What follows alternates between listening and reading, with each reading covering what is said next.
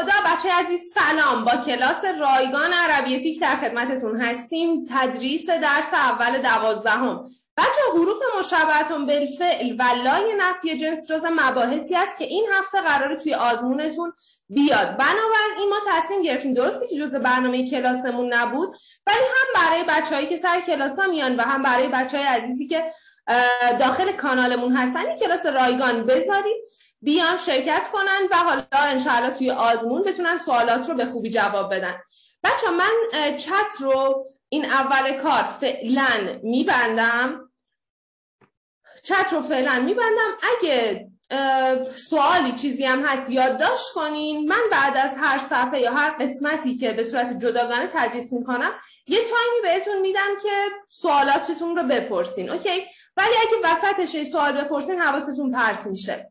بعد اینکه بچه ها این جلسه من براتون تست نذاشتم آخر این جلسه. ما هر بار توی کلاسامون آخر جلسات تست می‌ذاریم و اون تست رو هم حل می‌کنیم. برای این جلسه من خواستم چون نزدیک آزمونتون هم هست نخواستم زیاد وقت بگیره کلاسمون گفتم در یه ساعت فقط این درس رو براتون جنبندی کنم و برای تست بچه های تستی که براتون ضبط کردم آخرین های تست عربی که داخل کانال هست رو یه نگاه بندازین. اونجا من براتون گذاشتم. یه نمونه سوالاتیه که حروف مشابهتون بالفعل و لایه نفی جنس هم اونجا داخل سوالاتش هست. اونا رو هم حتما چک کنید.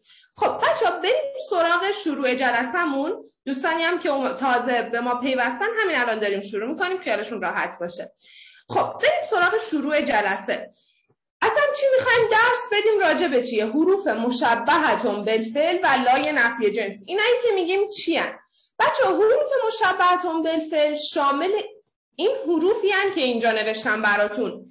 ان انا لیتا لعلا لاکن ان انا لیتا لعلا لاکن اگه دقت کنید بچه فقط لیتا است که تشدید نداره. خب بقیهشون همه تشدید دارن. یه لاکن داریم ما. لاکن جز حروف عطفمونه. اون لاکنمون تشدید دار نیست. بچه حواستون باشه. یه, یه لاکن هست. مثل مثلا میگیم اما. اون جز حروف مشابهتون بالفعل محسوب نمیشه. اون لاکن ای که تشدید نداره حروف مشابهتون بالفعل محسوب نمیشه. کارایی که این می‌کنه رو اون نمی‌تونه انجام بده. خب راجع به این حروف مشابهتون بالفعل چیا مهمه بدونیم؟ کامل و جامع بگیم. بچه ها حروف مشابهتون بالفعل و افعال ناقصه کلا دو تا دسته کلماتن که بر سر جملات اسمیمون وارد میشن. این حروف بر سر یک جمله اسمی یادتونه راجع به جمله اسمی مثلا میگیم الله علیمون. اوکی؟ این یک جمله اسمی هست. راجع به خدا میگیم خداوند داناست. خداوند آگاه است بچه ها گاهی این حروف مشابهتون بالفعل بر سر این جمله اسمیمون میان اوکی بر سر این جمله اسمی قرار می‌گیرن و باعث میشن این اسم به صورت منصوب در بیاد و خبرمون همچنان مرفوع میمونه پس چی شد؟ حسینی چی گفتی؟ ما توی مبتدا و خبر توی جمله اسمیه میگیم اس هم مبتدا هم خبر هر دوتا در جایگاه رفعن مرفوعن. درسته؟ خبر مفرد می‌گفتیم همیشه مرفوع میان اما وقتی راجع به حروف مشبهتون بالفعل صحبت می‌کنیم میگیم اسمشون رو منصوب می‌کنن. بچه‌ای که سر کلاس بودن به کرات رو شنیدن. وقتی میگیم یک اسم منصوبه منظورمون چیه؟ اگه انتهای اون اسم علامت خاصی نداشته باشیم مثل مثلا کتاب مثل قلم در این حالت علامت نصب میشه فتحه یا تنوین فتحه؟ اگه با یک جمع مذکر سالم طرف باشیم علامت یا و نون فتح دار میشه علامت نصب ما. هم علامت جر این یا و نون هم علامت نصب. بچه ها بسته به جایگاهی که اون اسممون اومده تشخیص میدیم که این مجرور یا منصوبه. اسمهای مصنا بچه اسمهای مصنا چجوری منصوب به شکل منصوب در میان؟ با یا و نون کسر دار پس جمع مذکر سالم یا و نون فتح دار می‌گیره مصنا یا و نون کسر دار می‌گیره. برای جمع معنس سالم هم گفتیم که جمعهای معنس سالم توانایی پذیرش فتحه و تنوین فتحه ندارن. پس چه خاکی بر سر بریزیم؟ باید وقتی الف و ت میاد انتهاش به صورت فتح به صورت کسره یا تنوین کسره دار. یعنی وقتی می‌خوایم مثلا کلمه مؤمنات رو در جایگاه نصب مثلا جایگاه مفعول به کار ببریم به صورت مؤمناته یا مؤمناتن به کارش می‌بریم. دیگه نمی‌تونه فتحه یا تنوین فتحه بگیره. پس این حروف مشبهتون بالفعل باعث میشن اسمشون به صورت منصوب در بیاد. یعنی مثلا بر سر همین الله و علیمون من بخوام چیز بیارم حروف مشبهه بیارم میگم ان الله ببینید منصوب شد. این الله و علیمون بود. این میشه ان الله علیمون. همچنان خبر به صورت مرفوع باقی میمونه. پس بچه حروف مشبهتون بالفعل به محض اینکه بر سر یک دونه اس بر سر یک دونه جمله اسمی وارد میشن باعث میشن اون مبتدا تبدیل بشه به اسم حروف مشبهه. ببینید اینجا رو دیگه اینجا نمیگیم بهش این الله مبتدا سا میشه اسم حروف مشبهه. اسمش تغییر می‌کنه انگار. و علیمان هم همچنان خبر این حروف مشبه همون محسوب میشه. خب بچه اسم حروف مشبه یادتونه گفتیم که مبتدای ما این یه مبتدا خبر داشتیم تو جمله اسمیه. خب یه مبتدا خبر داشتیم. توی جمله فعلیه یه فعل و فائل داشتیم که اینا ارکان اصلی بودن دیگه. ارکان اصلی جمله اسمیه اینا بود. ارکان اصلی جمله فعلی اینا بود که براتون نوشتم. حالا ما میایم میگیم که آقا اسم حروف مشبهتون بالفعل یه جورایی انگار می‌خواد که یه حالتهای شبیه فائله چرا شبیه فائله بچه ها میگیم یا به صورت اسم ظاهر به کار میره یا به صورت زمیر بارز یادتونه فائل به صورت اسم ظاهر میومد یا زمیر بارز یا زمیر مستتر. اوکی؟ یکی از این ستا بود. خب این به خاطر این بود که فعل قابلیت صرف شدن داشت پس می‌تونه زمین رو در خودش پنهان کنه. ولی حروف که نمی‌تونن مس... چیز کنن حروف که صرف نمیشن. مثلا میگن شما میگن ان رو صرف کن. چی کارش کنم. ببینید؟ پس حروف قابلیت صرف شدن ندارن. پس اون چیزی که به عنوان اسم حروف مشبهه میاد یا یه اسم ظاهره یا یک زمیر بارزه. اوکی؟ بچه اگه یادتون باشه تو جلسه زمائر راجع به این که زمایر یه سریاشون متصل منصوبی هن. گفتم که این زمایر متصل بهشون می‌گفتیم زمایر متصل نسبی جری. درسته؟ زمایر متصل نسبی جری مثل ه مثل ها مثل کنه مثلا کم توم و الی آخر. این کم البته این توم نیست. خب اینها بچه ها همشون می‌گفتیم زمایر متصل نسبی یا جریان حالا مثلا اینجا مثلا میگیم کتاب کن یعنی کتاب شما. این کم چون به یک اسم چسبیده در جایگاه مضاف الیه اومده و جایگاه مضاف الیه یک جایگاه مجرور هست میگیم که این کم اینجا جریه یعنی یک زمیریه که متصل شده پس زمیر متصل در جایگاه جر هم اومده چون در جایگاه مضاف الیه. اما بچه ها مثلا میگم انهو علیمون. ببینید اینجا این ه دوباره جز همین زمایر متصل نسبی جریمون هست.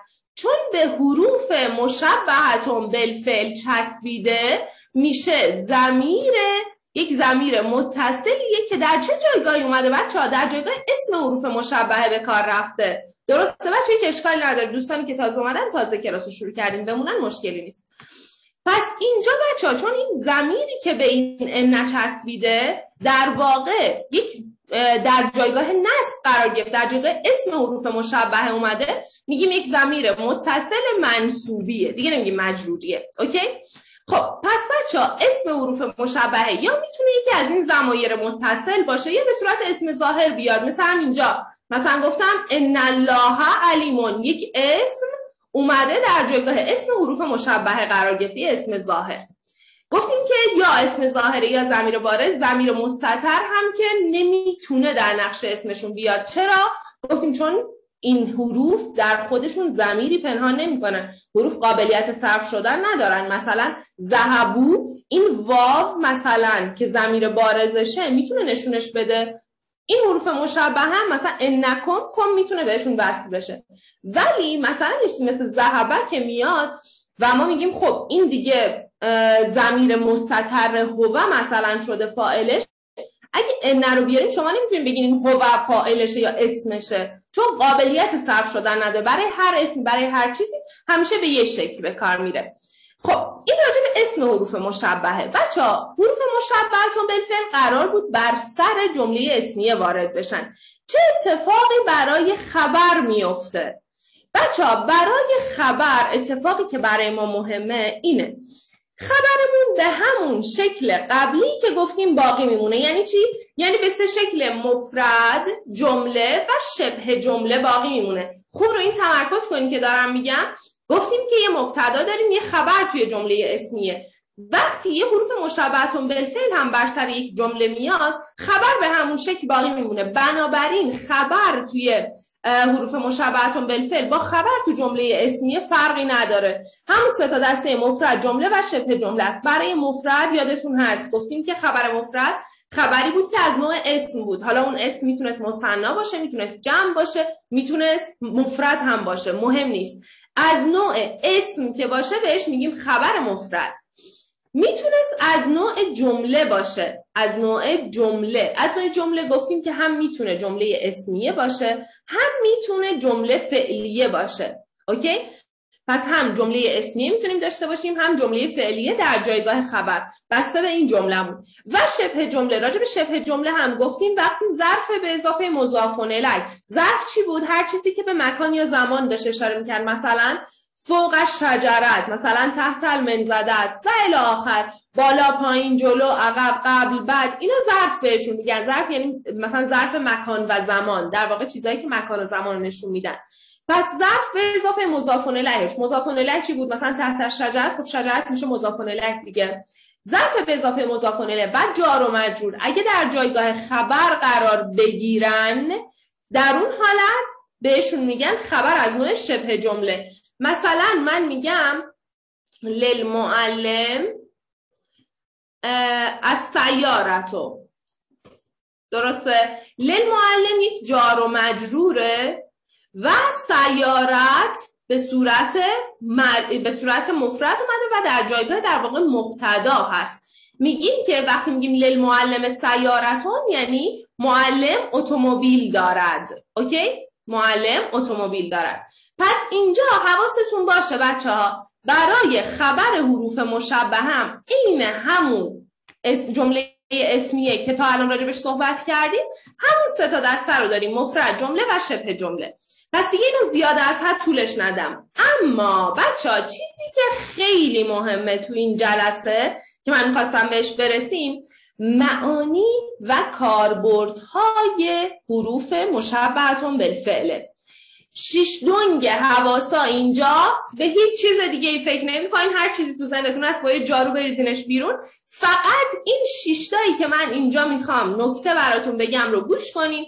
اکثریت تقریبا قریب به اتفاق سوالات کنکور رو از این کاربردها ازتون می‌پرسن. اوکی؟ خب بریم سراغ حروف مشابهتون بالفعل. اولیشون چیه؟ بچه اولین حرف مشبهتون بالفعل ان هست که می‌خوایم راجبش صحبت کنیم. ان حروف جز این حروفه چی کار می‌کنه؟ یک اول جمله میاد. بچه حواستون باشه. ان هیچ وقت وسط قرار نمی‌گیره. ان اول یک جمله میاد. اوکی؟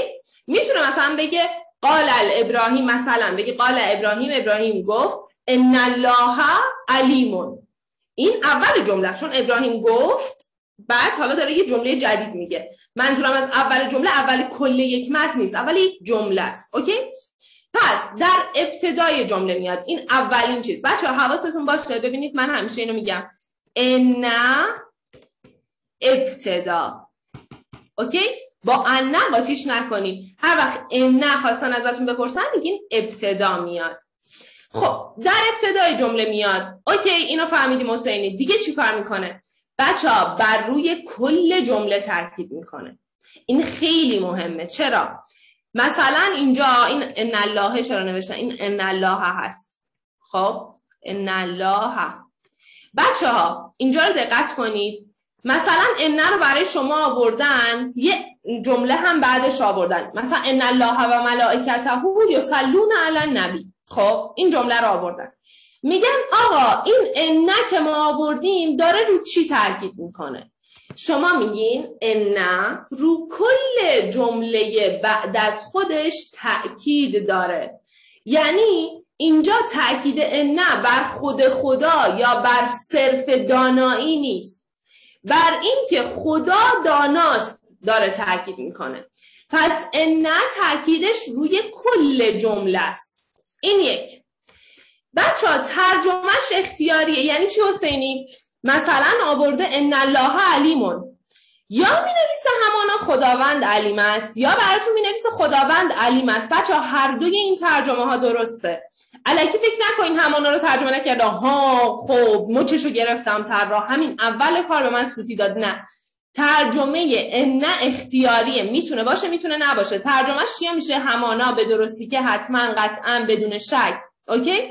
پس حرف تاکیده پس راجع به ان چیا فهمیدیم؟ یک اول جمله میاد. دو روی کل جمله بعد از خودش تاکید می‌کنه. نه صرفا رو اسم یا رو خبر رو کل جمله بعد از خودش تاکید می‌کنه. ترجمهش اختیاری الا ایوه الناس اگه اول یه جمله ان آورده بودن در ترجمه همانا و حتما و قطعا ندیدین ایرادی نداره. ان الله علیمون می‌تونه به شکل خداوند داناس یا علیم است هم ترجمه بشه. خب این راجع به ان بچه اینجا یه ستاره زدم. یه چیز کوچولو می‌خوام بهتون بگم. یه وقت قاطیش نکنین اینو ممکنه ببینیم. مثلا یه جمله داریم. میگه انل انسانه لفی خسر. درسته؟ این جمله رو شنیدیم هممون. انل انسان لفی خسر یعنی همانا. انسان در ضرر و زیان است. خب؟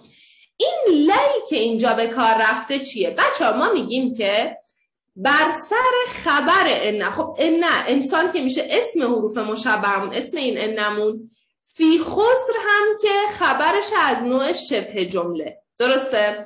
حالا میگیم که این لام چیه؟ پس این چیه اینجا اومده؟ بچه ها این بهش میگن لام تاکید و بر سر خبر انم می‌تونه بیاد. خب بر سر خبر انم می‌تونه قرار بگیره. بنابراین اگه همچین لامی دیدید یا تو چه نیفتین. ای بابا لفی خست اینو دیگه ندیده بودم.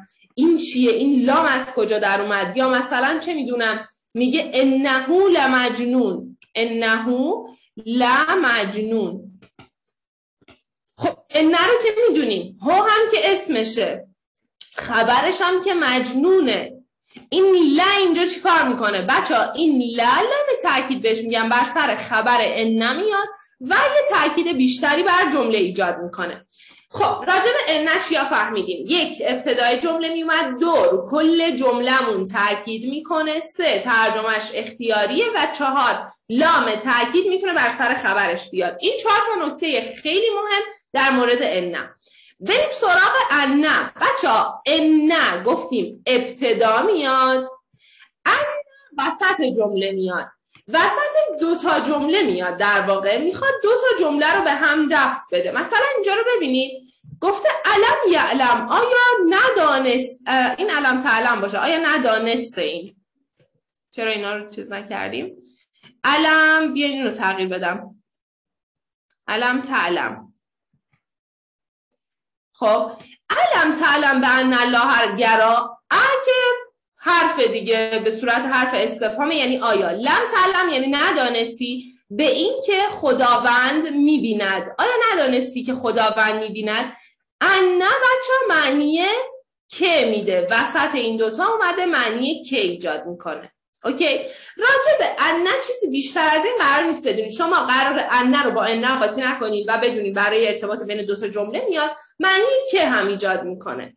خب این هم راجع به ان لاکن نه بچه یه کاربرد خیلی مهم که توی کنکور هم مورد سوال قرار می‌گیره. کاربرد همین لاکن نه هست.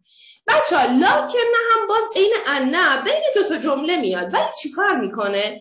میاد از جمله قبل از خودش رفع ابهام می‌کنه. یعنی چی؟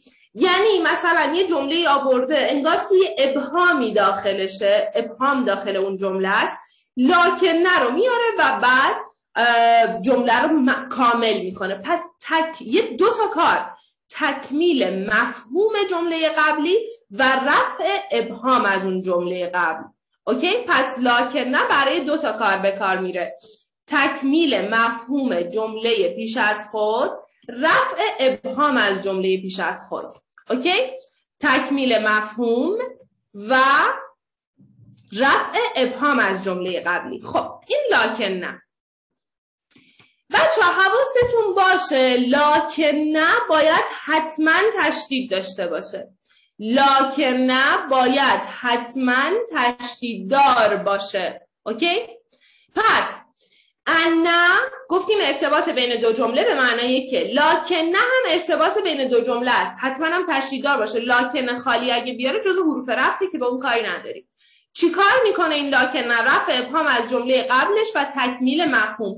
مثلا گفته ما کفر سلیمانون. سلیمانو و لاکن شیاطین کفرو و کفر نورزید سلیمان اما شیاطین کفر ورزیدن. یعنی یه جورایی داره تکمیل می‌کنه جمله رو. اون سلیمان نبود که کفر ورزید بلکه یه جورایی این شکلی. اما شیاطین کفر ورزیدن.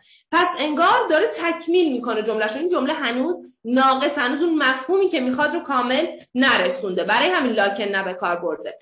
خب کاربرد کعنه چیه؟ بچه ها کعنه باز جز حروف مشبهتون بالفعله معنیش میگه معنیش میشه انگار گویی که مثل اینکه از این معنی ها داره انگار گویی مثل اینکه چه یعنی در واقع چی رو به شما میرسونه؟ انگار یه زن و تردید رو میرسونه. که انهم لا یعلمون. گویی که اونها نمی‌دونن انگار که نمی‌دونن. یه حالت شک ایجاد می‌کنه.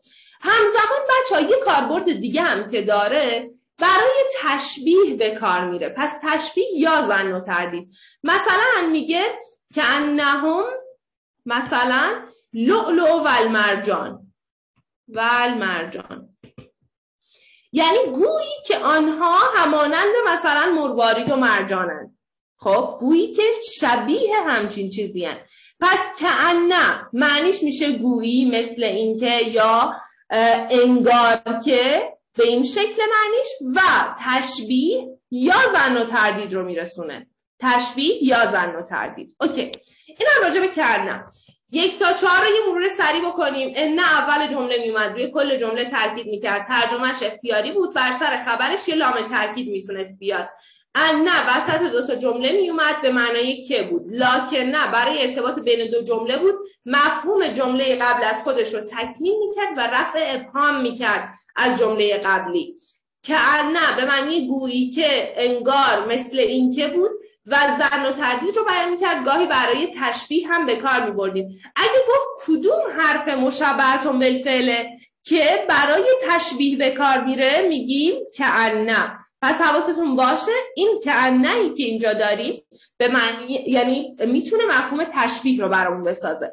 خب بچه رسیدیم به دوتا مهمترین این حروف مشبهت و که خیلی کاربرد دارن. یکی لیتا هست یکی لعله بچه این دوتا رو خیلی حواستون جمع باشه اینجا. این دوتا مهمن. لیتا به معنی کاش یا ای کاش هست. به صورت یا لیتا هم به کار میره. پس لیتا یا یا لیتا هر دوتاشون کاربرد دارن. به معنی کاش و ای کاشه. بچه ها معنی آرزوی غیر قابل دستیابی میده معمولا. ببینید معمولا دارم میگم ها. بعضی وقتا مثلا چه می‌دونم میگه ای کاش تو مال من بشی. و در نهایت هم میشه طرف. اوکی؟ پس در واقع معمولا وقتی می‌خوایم یک آرزوی غیر قابل دستیابی رو بیان کنیم لیتر رو به کار می‌بریم مثلا این جمله که من براتون آوردم رو ببینید. یا لیتنی کنتو ترابا. ای کاش که من خاک بودم. یا لیتنی ای کاش اون نون نون وقایه است. یه یا به چسبیده به عنوان اسم حروف مشابهه کنتو ترابا هم که جمله است. گفته ای کاش که من خاک بودم. خب طبیعتا من نمی‌تونم خاک باشم. بنابراین برای این جمله که امکان وقوع نداره از یا لیتا یا لیتا استفاده می‌کنیم یا یه حالت دیگه مثلا یه جمله دیگه میگه که یا لیتا لم تلدنی امی. ای کاش مادرم مرا نزاده بود. یا لیتا لم تلدنی امی. این هم بچه ها اگه دقت کنید هیچ وقت قابل دستیابی نیست که یعنی چجوری؟ چیکار کنم من که مادرم بخواد منو نزا به دنیا نیاره؟ چه اتفاقی می‌تونه بیفته؟ همچین چیزی نداریم. پس لیتا معمولا بر سر آرزوهای غیر قابل دستیابی میاد. حرف تمنا هم بهش میگن. تمنای یه چیزی رو داشتن انگار که امکان نداره که به وقوع بپیونده. ولی تو همش دلت خوشه که همچین اتفاقی بیفته. پس لیتا یا یا لیتا معنی کاش و ای کاش میده. بر سر آرز بر سر معمولا تو جمله هایی میاد که یا آرزوی غیر قابل دستیابی رو بیان می‌کنیم بهش میگیم حرف تمنا. لعل چیه؟ بچه لعل برعکس لیتا. بیشتر آرزوهایی رو بیان می‌کنه که قابل دستیابی هن. خب آرزوهایی که انگار می‌تونیم بهشون دست پیدا کنیم. مثلا اینجا رو ببینید گفته لعلکم ترهمون شاید که مورد رحم قرار گیرید. باشد که مورد رحم قرار گیرید. یعنی همچین امکانی وجود داره. شاید که این اتفاق بیفته. باشد که این اتفاق بیفته. اوکی؟ پس لیتا که به شکل یا لیتا هم به کار می‌رفت معنی کاش و ای کاش می‌داد. معمولا برای آرزوی غیر قابل دستیابی میومد لعله به معنی شاید و باشد که هست بیانگر آرزوهای قابل دستیابی معمولا. بچه ها همزمان شک و تردید رو هم میرسونه شک و تردید رو از کجا میشه فهمید؟ مثلا تو ترجمهش هم معلومه میگه شاید. مثلا لعلکم طور همون شاید مورد رحم قرار گیرید. هنوز چیز قطعی نیست. نمیگه حتما شما مورد رحمت قرار می‌گیرین. بچه صدا و تصویر من خوبه؟ صدا و تصویرم خوبه. یه لحظه فکر کنم یه آنست آها خب اوکی مرسی مرسی مرسی. خب پس بچه لیتا و یا لیتا به معنی کاش و ای کاش هستن. لعله به معنی شاید و باشد که به کار میره و لیتا آرزوی غیر قابل دستیابی لعله آرزوهای قابل دستیابی. فقط لعله بچه شک و تردید رو هم بیان می‌کنه. برای بیان شک و تردید من الان دو تا از حروف مشبهه رو گفتم. بچه ها حواستون باشه. یکی لعله یکی هم کعنا درسته؟ زن و تردید رو هر دوتاشون می‌تونن برسونن. گویی که اونها نمی‌دونن انگار نمی‌دونن. شک داریم این چیز یقینی نیست. اینم لعلکم همون اینم میگه باشد که مورد رحمت قرار گیرید. شاید که مورد رحمت قرار گیرید. اینم باز هیچ قطعیتی توش نیست و یه حالت زن و تردید وجود داره. پس لعله و کعنه هر دوتاشون می‌تونن برای بیان شک و تردید به کار برن. خب این از حروف مشبهتون بالفعل و کاربردهاشون.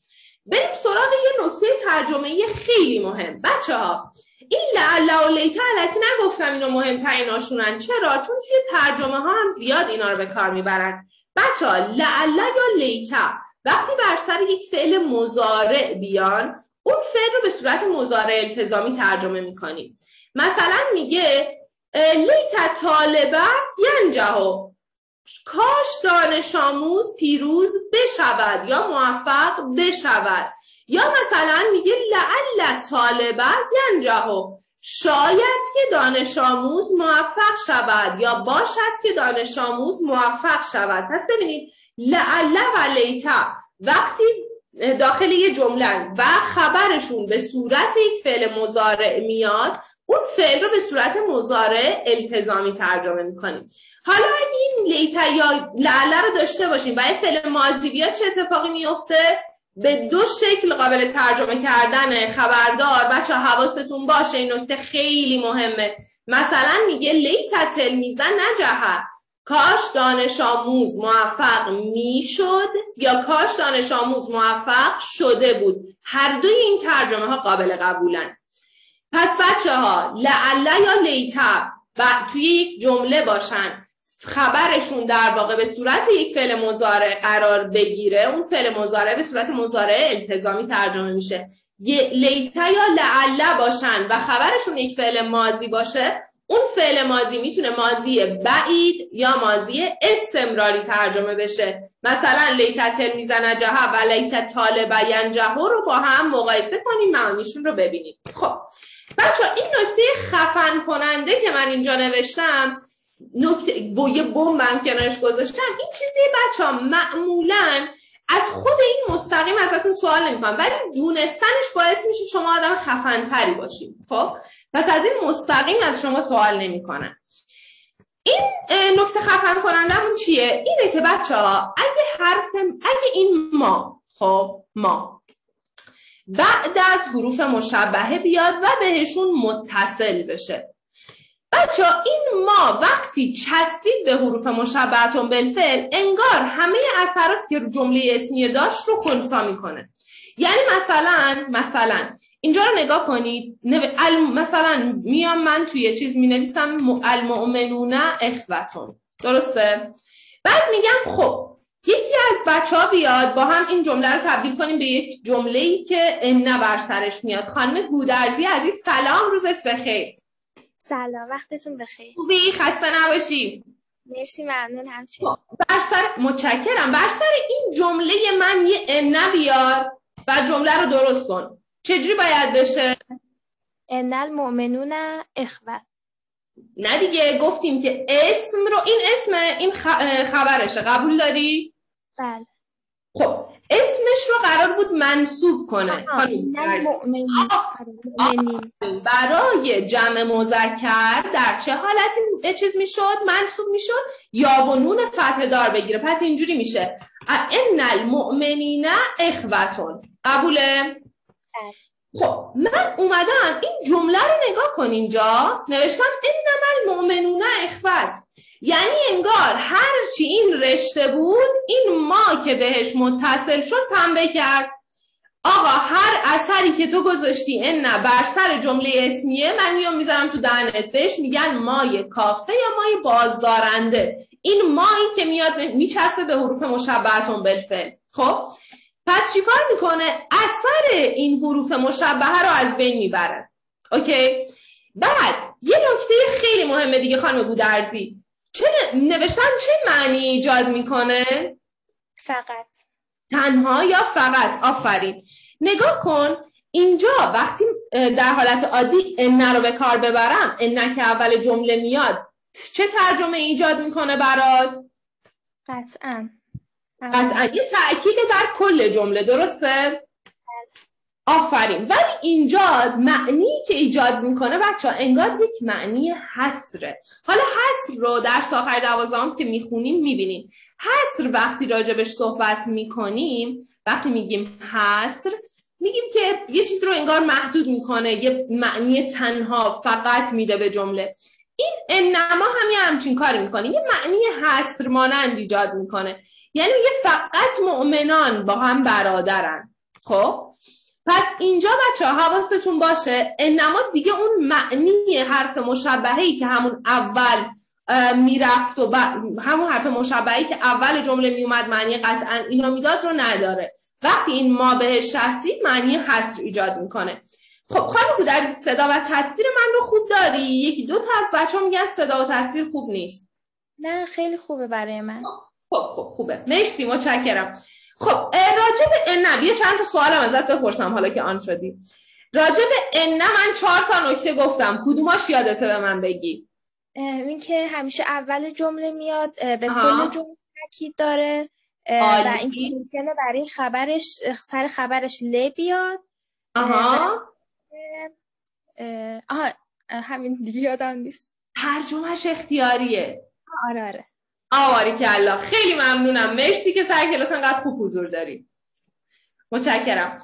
خب بچه بریم سراغ ادامه. این پس این مایی که میاد به حروف مشبهتون بالفعل میچسبه و باعث میشه اثرشون خونسا بشه ما یه کافه یا بازدارنده بهش میگیم ایجاد معنی فقط یا تنها می‌کنه. مثلا انما المؤمن نخبه یعنی فقط مؤمنان برادرن. مثلا میگه انما دنیا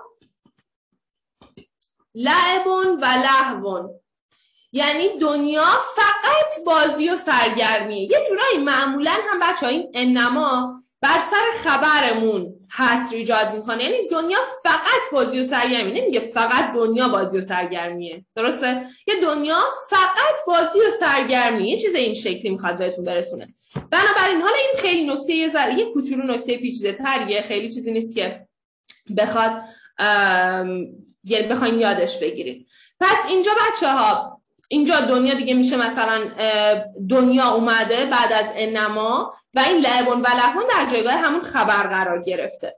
بچه ها لازم نیست اینا رو به صورت نقش هاشون رو بدونین. دیگه این کافیه. تا همین حد بلد باشین شما برای نقش ها در حد حروف مشابهتون بالفعل بلد باشین. انما فقط یه نکته که بلد بودنش بهتون کمک می‌کنه. اونم اینه بلد بودنش. اولا جمله رو از اون حالت اولیه خارج می‌کنه. دوما معنی هست ایجاد می‌کنه. اما بچه ها حواستون باشه این برای یک مایه که به این نه که نه و الی آخر چسبیده باشه. اگه بهشون نچسبه مای موصوله و اسم حروف مشبه هست چی گفتی؟ اگه این ما که گفتیم بعد از حروف مشبهه میاد به حرف مشبهتون بالفعل وصل نشد بهش میگیم مای موصول و اسم حروف مشبه هست مثلا میگه ان حالا یه جمله قبلش بوده ان ما اون من دونهی هو الباطل که آنچه می‌خوانید جز او آن باطل است.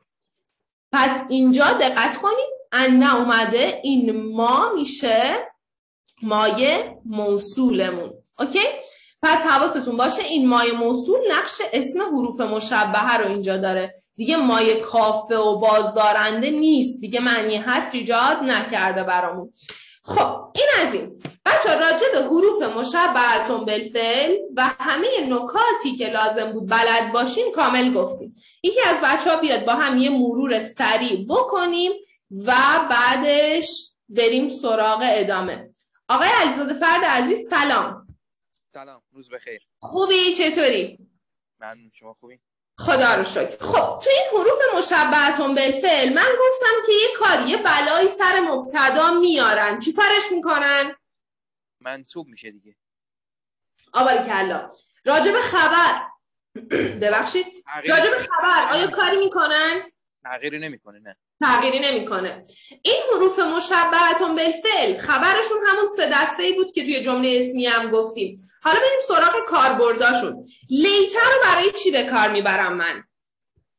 برای کاش. بر... یک به معنی کاشی که واسه آرزوی دقیقا دیگه همین آباری کلا آرزو غیر قابل دستیابیه. آفرین محال انگار بهش بهش آره. ممکن ولی لعله چی؟ اون آرزوی قابل دستیابی و به معنی شاید دیگه. آفرین. اگه من بهت بگم دو تا حروف مشابهتون بالفعل برای من بگو که معنی زن و تردید ایجاد می‌کنن. یکی لیته یکی هم کنه لیته نیست لعله. ها لعله بخشی معنی شاید آفرین. پس این حواست باشه اینا رو قاطی نکنی با هم. بین ان و ان کدومشون اول جمله میاد؟ ان که برای تاکید کل جمله است اول جمله میاد. آباری کلا. ان که وسط میاد معنی چیه؟ ان. معنی که میده؟ بعد کدوم حرف مشبهتون بالفعله که برای تشبیه به کار میره؟ که ان است. آباری کلا. کدوم حرف مشابهتون بالفعل بهش میگیم حرف تمنا؟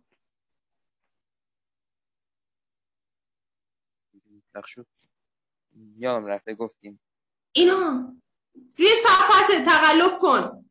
لیته. آقای کلا. لیته حرف تمنا هم بهش میگیم.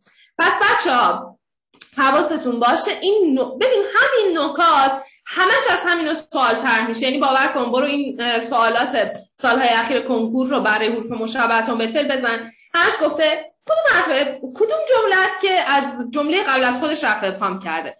کجا یه معنی تشبیه داریم؟ کجا یه معنی زن و تردید داریم؟ کدوم بیانگر یا آرزوی غیر قابل دستیابی؟ همش داره همینا رو میگه. پس اینایی که گفتم رو حفظ کنین انشاءالله به بهترین وجه می‌تونید سوالات این درس رو جواب بدین. مرسی آقای علیزاده فرد عزیز متشکرم. مرسی. خب خانم بزماورد تو هم بیا سوالات یه ذره سوالم از تو بپرسم. خب خانم بزماورد خوبی؟ صدا منو داری؟ بله بله. شما خوبی؟ خب خوبه. لاکن نه. ما یه لاکن هم داریم. آیا اون هم می‌تونه جز حروف مشبهتون بالفعل حساب بشه؟ نه اون نمی‌تونه. اون نمی‌تونه. فقط باید تشدید دار باشه که جزء حروف مشبهتون بالفعل حسابش کنیم. یکی از این حروف مشبهتون بالفعل برای رفع ابهام جمله قبلی میان. لکن نه. آواری کلا. یکیشون هست که حرف ترجی یا حرف امیدواری بهش میگن. چیه اون؟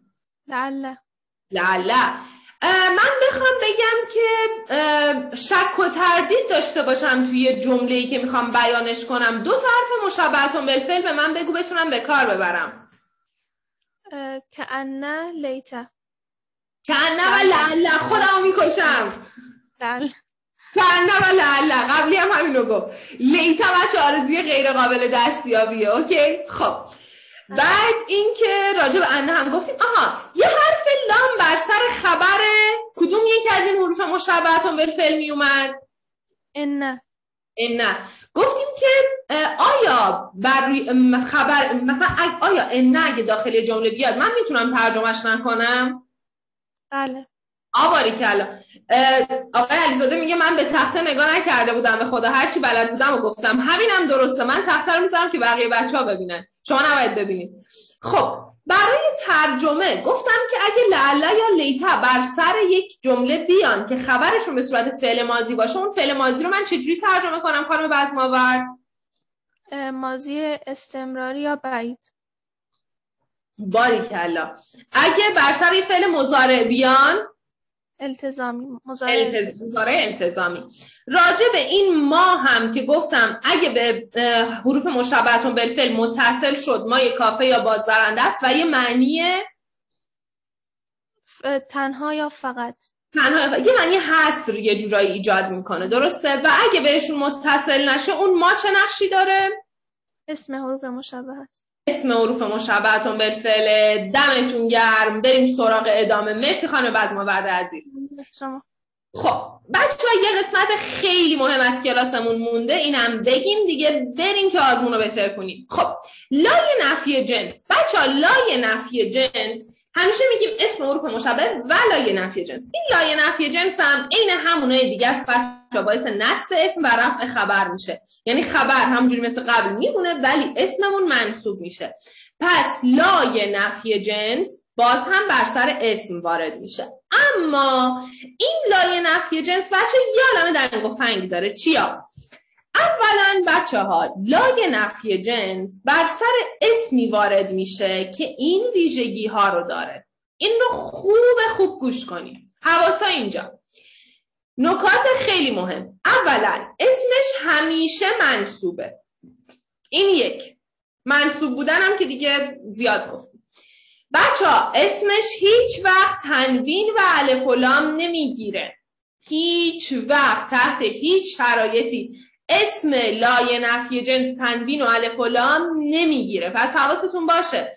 اگه یه لا آورده بود مثلا گفته بود لا قوتون مثلا.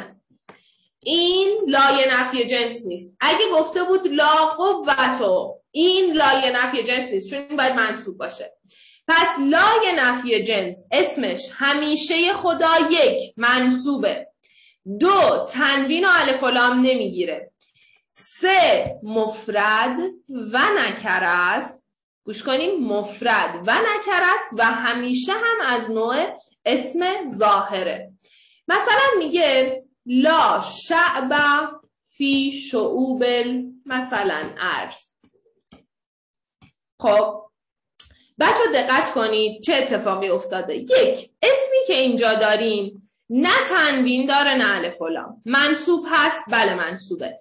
مفرد و نکرست نکرست یعنی چی؟ یعنی هیچ نشانه ای از نشانه های چیز رو نداره. هیچ نشانه ای از نشانه های معرفه بودن رو نداره.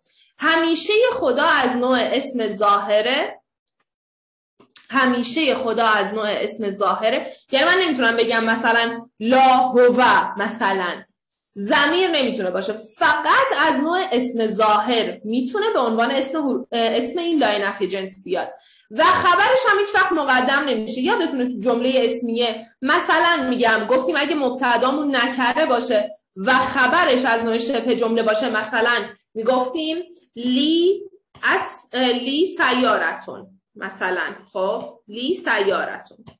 یعنی اتومبیلی دارم. گفتیم این مبتدامونه این خبرمونه از نوع شبه جمله که مقدم شده بر مبتدامون. بچه خبر برای این خبر برای این لایه نفی هیچ وقت نمی‌تونه مقدم بشه. یعنی در واقع این رو بهتون بگم.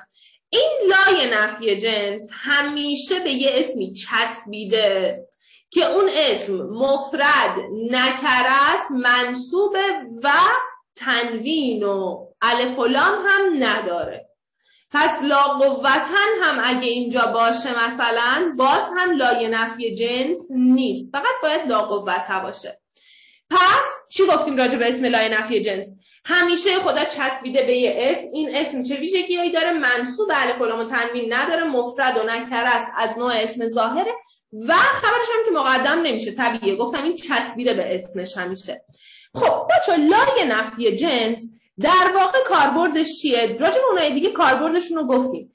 این یه نفی کامل نفی کامل می‌خواد بکنه. مثلا من بعضی وقتا میگم مثلا میگم که مردان باز نگشتند مثلا. خب؟ بعضی وقتا می‌خوام بگم که هیچ مردی بر نگشت. ببینید کامل می‌خوام تاکید کنم بر این نفی جمله چیکار می‌کنم؟ ببینید اینجا رو جمله رو. لا رجل یرجعو. هیچ مردی باز نمیگردد. اوکی؟ پس اینجا وقتی من لایه نفی جنس به کار می‌برم یعنی کاربردش برای من تو عربی اینه. وقتی به کارش می‌برم که بخوام یه چیزی رو نفی کامل کنم. بگم که یه تأکید بر نفی هم داشته باشم. تأکید بر نفی. پس کاربردش اینه. وقتی میگم کاربردش اینه پس تو ترجمهش هم باید خودش نشون بده. ترجمهش بچه اینجوریه. یا یه هیچ نیست داریم یا یه هیچ ندارد داریم یا هیچ داریم و فعل رو به صورت فعل جمله رو به صورت منفی ترجمه می‌کنیم. چی میگی حسین؟ چهار تا مثال بزن اینا رو نمی‌فهمیم.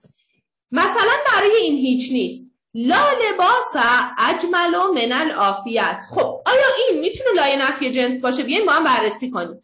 لباس مفرد نکره است الف و تنوین نداره. منصوبه و به صورت اسم ظاهر اومده. پس بله این لا لایه نفی جنسه. چجوری ترجمهش می‌کنم؟ میگم هیچ لباسی زیباتر از سلامتی نیست. پس یک ترجمه هیچ نیست. یه نفی کامل یه تاکید بر نفی ایجاد می‌کنه. یعنی هیچ چیزی از این خوشگلتر نیست. اوکی؟ لا رجل یرجعو بچه دقت کنید اگه معنی تحت لفظی بخوایم بریم میگیم هیچ مردی باز میگردد. ببینید لا رجل بعد از اون بر یرجع. فعلمون به صورت مثبت اومده. اما وقتی این لا لای نفی جنس میاد بر سر همچین حالتی فعلمون رو منفی می‌کنه. به صورت هیچ و فعل جمله به صورت منفی یکی از ترجمه هایی که براتون نوشتم. یعنی هیچ مردی باز نمیگردد. این نوع ترجمه که برامون میاره. خب دوباره این. بچه لا اله الا الله. لا اله. آیا خب این رو هم بررسی کنیم؟ آیا رجله این لا که بر سرش اومده می‌تونه لای نفی جنس باشه؟ خب یه اسم مفرد نکره است. الف و تنوین نداره منصوبه و خبرش هم که مقدم نشده. بله پس این لا لای نفی جنسه. دوباره این. لا اله الا الله. لا اله بچه این اله آیا می‌تونه اسم اسم لای نفی جنس باشه؟ اله مفرد نکره است الف و تنوین که نداره. منصوب بله منصوب خبرش هم مقدم نشده. پس اوکیه. لا اله یعنی هیچ خدایی نیست. الا الله به جز خدا. هیچ خدایی جز خدا جز الله نیست. پس بچه حواستون باشه. هر وقت لای نفی جنس دیدین یه معنی هیچ نیست هیچ ندارد یا هیچ به صورت فعل جمله به صورت منفی رو باید داشته باشیم.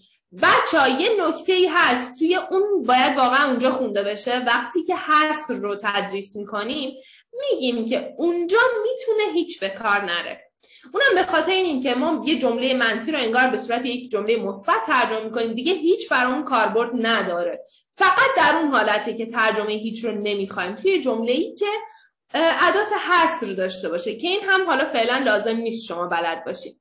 خب بچه نکته خیلی خیلی مهمم که این آخر براتون گذاشتم. یه ترکیبی داریم توی عربی ما من. یه, یه همچین حالتی. مثلا میگه ما من رجله یعنی هیچ مردی نیست که بکارد مثلا فلان را. ببینید این انگار که عین لای نفی جنس داره ترجمه میشه. مثلا میگه و ما لظالمین من انصار. یعنی ظالمان هیچ یاوری ندارند. و ظالمان هیچ یاوری ندارند. پس ببینید این معنی هیچ نیست هیچ ندارد هیچ جمله منفی. توی این مامن هم دیده میشه. این ساختار مامن. مثلا مامن رجله هیچ مردی نیست که و ما لظالمین من انصار. ظالمان هیچ یاوری ندارن. و الاخر. پس این لایه نفی جنس که گفتیم ترجمهش این شکلی میشه این ترکیب مامن هم می‌تونه همچین ترجمه ای داشته باشه. خب بریم یه مرور سریع بکنیم راجع به لایه نفی جنس و بعدش یه نمودار آخر رو با هم مرور می‌کنیم و خستم نباشیم. سعی کردم که رو توی ساعتی تموم کنم. ظاهرا موفق بودم. خب خانوم حسینی عزیز سلام. سلام وقتتون بخیر. خوبی؟ چطوری؟ مرسی ممنون. شما حواست جمع بود سر کلاس ها؟ بله بله. خب خدا رو شکر. بیا لایه نفی جنس رو سریع با هم تر... چیز کنیم مرور کنیم. اسم لایه نفی جنس باید چه ویژگیهایی داشته باشه؟ باید منصوب باشه تنوین نداشته باشه ال نداشته باشه مفرد باشه نکره خب. باشه بعد اسم ظاهر باشه خبرش هم نباید مقدم باشه. باری کلا تختر رو نگاه کردی؟ نه تختر رو نگاه نکردم سعی کردم از خب آره معلوم بود. با ترکیب نمی‌گفتی اصلا.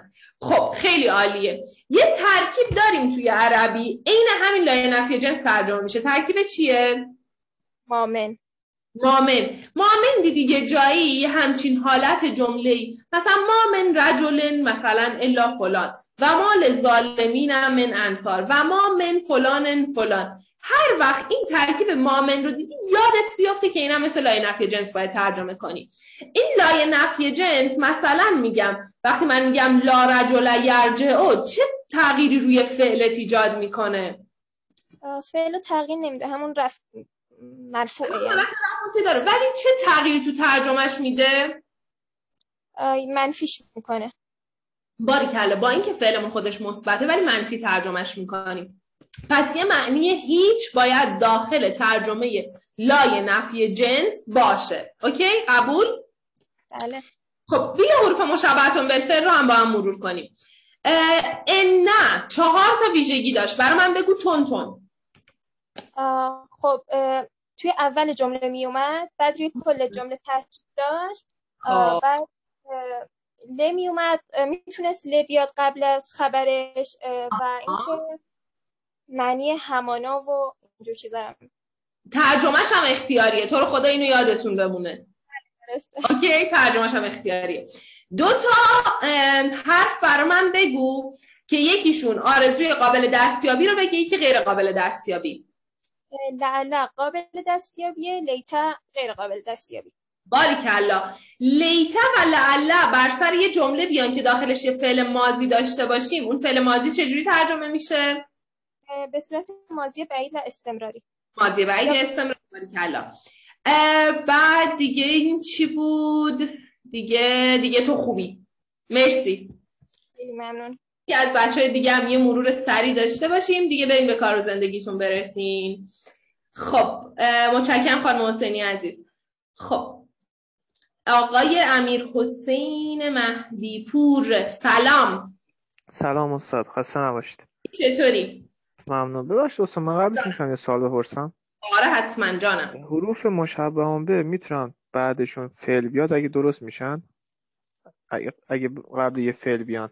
مثلا ان یرجو ببین همچین اتفاقی نمیفته و اینها بر سر جمله اسمیه وارد میشن. من خودمو کشتم از اول کلاس. نه می‌دونم. چون من توی کتاب دیدم که نوشته که اگه مثلا توی تست بیا مثلا میگه عین خطا بعد بعدش یه فعل بذارم مثلا میگن غلط می‌گیرم واسه هم من پرسیدم. نه نه ببین ما میگیم این حروف مشبهتون بالفعل بر سر جمله اسمی وارد میشن حالا که این سوال پرسیدیم نکته کوچولو رو هم برات بگم. ببین ما یه ان و ان داریم خب؟ یه ان و ان نداریم. بعد اون تجدید دارم. آره. اینایی که تشدید دارن تشدیدشون شبیه سینه شبیه حرف سه. شما رو یاد اسم بندازه. اینا بر سر اسم وارد میشن. ان و ان بر سر فعل وارد میشن. حالا بعدا صحبت خواهیم کرد که ان و ان هر دوتاشون ا دارن اولشون دیگه. ابتدای جمله میان و ان و ان دوتاشون هم وسط میان. OK؟ پس یعنی این قاعده که به صورت کلی برقراره. پس ان و ان نمی‌تونن بر سر فعل بیان. OK شد؟ بله بله. خب بیا با هم مرور کنیم. حالا که تو سوال پرسیدی من سوال بپرسم این بار. اه، انما اگه بر سر یک جمله بیاد چه معنی ایجاد می‌کنه؟ انما فقط. فقط یا تنها؟ پس معنی حصر میده به جمله. اه، توی حروف مشبهتون بالفعل چی ازت بپرسم؟ یه دونشون رو بگو که معنی تشبیه ایجاد می‌کنه. تشبیه م، کن نه کن انم می‌تونه معنی تشبیه ایجاد کنه. اشتباه گفتی فکر کردم درست گفتی. خودت رو نمی‌دادی نمی‌فهمم لاکنن چه ت... چه کاربردی داشت؟ کاربردش رو برام بگو. برداشتم از لاکن نه اه، اون بخش قبل خودش رو توضیح می‌داد. یک تکمیل می‌کرد یعنی. تکمیل می‌کرد یا رفع ابهام یا می‌کرد رفع ابهام بله. لای نفی جنس چه کاربردی داشت؟ لای نفی جنس.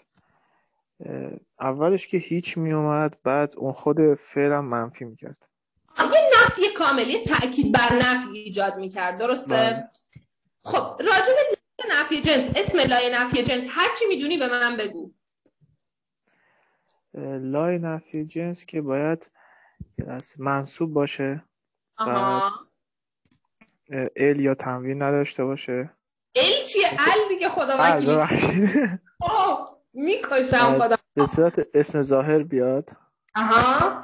و یکی همین که خبرش نمی‌تونه مقدم بشه. هم مقدم بله خبرش کرد پس اسم لای نفی جنس منصوب تنوین و ال نداره مفرد و نکره است از نوع اسم ظاهره و خبرش هم هیچ وقت مقدم نمیشه. نمیشه. یه ترکیب بگو که مثل لای نفی جنس ترجمه میشه. ما علاوه من ما به علاوه من و حالا جمله‌مون هم ادامه پیدا کنه. بله. مرسی متشکرم آقای مهدی پور عزیز متشکرم مرسی. خب. یه این متشکرم مرسی. رو احساس می‌کنم بچگی هم بکار بردیم خانم امامی سلام. استاد جان سلام. وقت بخیر. خوبی؟ آواری کلا اینجوری سلام. خوبی؟ سلامت باشی ممنون. بیا با هم یه مرور سریع بکنیم. گفتیم که آقا به انم انم کجا به کار می‌رفت؟ انا بین وسط جمله استاد. معنی؟ معنی که می‌داد. لاکنه کجا میومد لکنن وسط جمله می اومد که جمله میومد برای تکمیل جمله قبل از خودش بود. درسته یا رفع ابهام می‌کرد؟ درسته. بعد نه گفتیم که اول جمله میاد روی چی تاکید می‌کنه؟ کل جمله استاد. کل جملهمون تاکید می‌کنه. بعد اینکه لیتا و لعلا میان وقتی بر سر یک فعل میان اگه مضارع باشه چجوری ترجمه میشه؟ مضارع التزامی. اگه ماضی باشه؟ بعید و استمراری. کلا نه اگه ما بهش بچسبه معنی چی ایجاد می‌کنه؟ تنها و فقط. تنها فقط. یه معنی حصر به همون میده در واقع. اسم لای نفی جنس چه ویژگی هایی داره باید منصوب باشه. الف و لام و تنوین نمی‌گیره. خبرش مقدم نیست. اسم ظاهره. بعد اون یکی هم چی بود؟ اینا. برای علامت می‌زنم داخل نمودار. آه مفرد نکره باشه به نکر است. باری کلا بچه ها من هر نکته ای که واقعا لازم بود تو جلسه اسم حروف مشابه و لای نفع جنس بدونین رو بهتون گفتم. خیلی خسته نباشین. کلاسمون دقیقا یه ساعت شد. همون حدسی که می‌زدم. خسته نباشین. جلسه ضبط شده رو داخل کانال براتون می‌ذاریم. هر نظری پیشنهادی انتقادی راجع به کلاس ها داشتین حتما بهمون بگین. خسته نباشین. من ضبط رو تموم می‌کنم. خدا نگهدار.